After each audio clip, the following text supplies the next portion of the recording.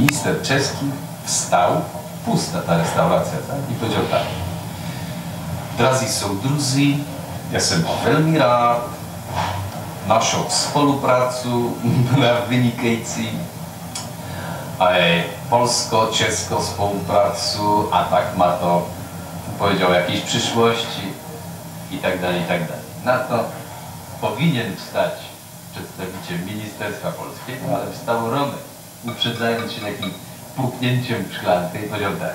Drodzy Państwo, kiedyśmy kończyli ten film, Majewski powiedział tak. Nie będzie to film, kurwa, ani polski, ani czeski, ale amerykański. Zdrowie.